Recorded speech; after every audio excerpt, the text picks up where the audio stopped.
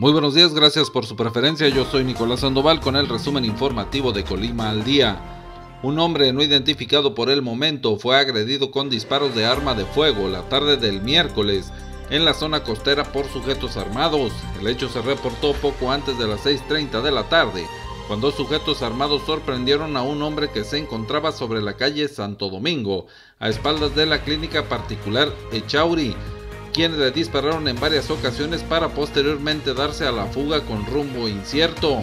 La víctima fue trasladada a urgencias a un hospital cercano para su atención médica, mientras que en el lugar, elementos de las diferentes corporaciones policíacas acordonaron la zona para el levantamiento de evidencias. Minutos más tarde se dio a conocer de manera extraoficial que el agredido falleció mientras recibía atención médica. La Secretaría de Seguridad Pública, a través de la Subsecretaría de Operaciones, anuncia que pondrá especial atención durante los patrullajes que realiza la Policía Estatal, con la finalidad de identificar a los o las personas que están dejando en algunas viviendas un documento en el que solicitan al inquilino del inmueble un reporte del consumo de energía eléctrica vía WhatsApp o para programar una visita al domicilio. Señala la dependencia que luego de que la Comisión Federal de Electricidad pidió a sus usuarios ignorar la solicitud que plantea el documento, la dependencia estatal hace el exhorto a la población a reportar cualquier situación al número de emergencias 911. La Secretaría de Seguridad Pública descarta la operación de una banda delictiva en particular. Sin embargo, pidió a los ciudadanos permanecer atentos, mantener comunicación entre los vecinos y familiares, además de no hacer caso a los requerimientos que lleguen al domicilio mientras no se identifiquen plenamente. La Universidad de Colima invita a todos los estudiantes que están por concluir su bachillerato y personas interesadas en cursar una carrera a nivel profesional a ingresar a una de sus licenciaturas como licenciatura en gestión y reducción de riesgos a desastres, ingeniería en mecatrónica, gestión de recursos marinos y portuarios, entre otras. Para más información ingresa a www.ucol.mx en oferta educativa.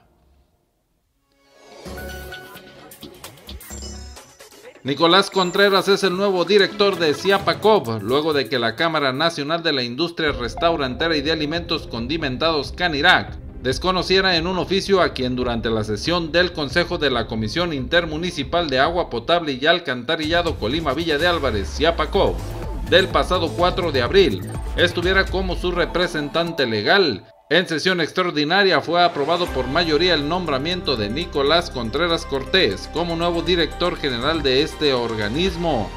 El representante del gobierno del estado como presidente del consejo Arturo Noriega García convocó a una sesión en donde dio a conocer que en la sesión extraordinaria pasada, sin contar el voto de Canirac, Nicolás Contreras obtenía la mayoría de los votos, quien tuvo 15 sufragios a favor 13 en contra y una abstención.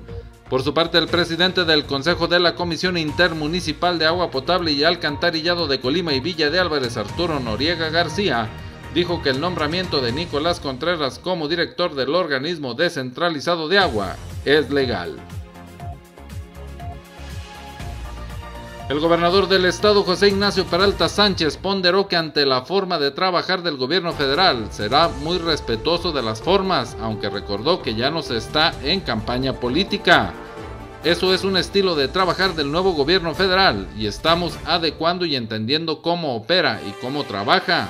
Yo no tengo más información de los nombramientos de delegados o funcionarios federales, es decir, la que ha circulado en los diferentes medios de comunicación, dijo el gobernador. Recordó que él ya estuvo dos veces en campaña política por la gobernatura del estado y dijo que con esas ya son suficientes. Ahora lo que hay que hacer es trabajar por México. Esto exige no solamente visión e inteligencia, sino mucha responsabilidad y un alto grado de sensibilidad. Hay que dejar la politiquería atrás, las ambiciones de poder, hay que ponerse a trabajar por México y por los mexicanos. Y para todos los amantes de la cerveza, la cerveza baja de precio. En el reciente anuncio del cervezazo que se filtró del grupo modelo generó grandes expectativas y mucha incertidumbre. Sin embargo, ya se confirmó que las consecuencias serán positivas, es decir, la cerveza bajaría sus precios. La empresa confirmó que el cervezazo es una realidad y que influirá en los precios de las marcas Corona, Victoria, Modelo y Bud Light al disminuir su costo justamente para las vacaciones de Semana Santa. Esta y más información la encontrarás en www.colimaldia.com. Síguenos en redes sociales.